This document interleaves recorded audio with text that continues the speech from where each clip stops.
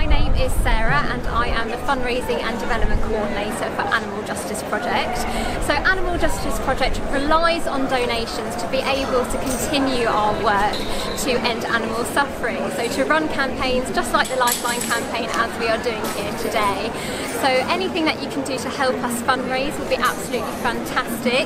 So either taking part in collection days, so we've got lots of collections taking part in loads of different towns and city centres, so just have a look our Facebook events, or fundraising in your local area, so either in your student union, running your own events, uh, anything that you can do to help would be so gratefully received. So thank you so much from Animal Justice Project and from the animals.